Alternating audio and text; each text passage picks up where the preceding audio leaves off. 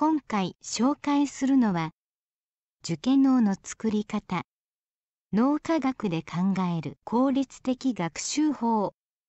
という本です。高校生の勉強法の増補解題版。この本の最終ページにこの作品は平成14年4月長瀬より刊行された。高校生の勉強法を解題し文庫化にあたり増補一部開講されたと記述されています。はじめにも同様のことが書かれています。高校生の勉強法は脳科学の入門書として非常に優れたものだと思います。その後の科学的進歩知見について内容を増補し価格も半額になった本書は買いです。相当勉強しているのにうまく習得できていないと痛感する人は多いと思います。それは記憶と忘却の仕組みについてよく理解していないからです。先へ先へと急ぐ人ほどその傾向が強いと思います。この本に書かれていることを実践すると